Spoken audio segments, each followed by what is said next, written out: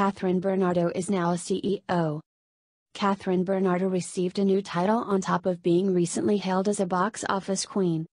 The La Luna Sangre star is now a chief operating officer thanks to her newly opened nail salon named Cath Nails. Kathryn, in an interview during the grand opening of her first business venture, shared that they have been planning for it for almost three years now. Hindi name nine expect na magagawa siya this year until sinabi ni mama nun nagtaping kami and G can't help falling in love na nakahanap siya and G magandang place, she said pertaining to her mom Min Bernardo. According to her, she too is surprised that everything finally fell into place for them. Ito yung project non-aging hands-on kaming lahat dahil ko rin mahalaga magpa nails, she shared, even adding that she personally chose the services that are to be offered and the overall vibe of the nail salon.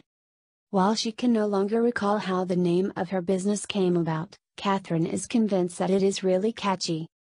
Her perennial on screen partner Daniel Padilla already revealed the name of her nail salon a month ago, during the bloggers' conference of their last film. Kathryn Bernardo and Daniel Padilla to put up their own businesses.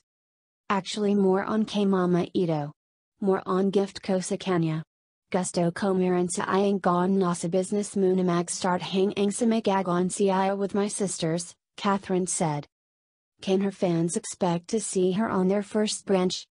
More on si Mama talaga ang magiging hands on Dido. Iko mag-check lang kung ano ang gagagamit nila, she said.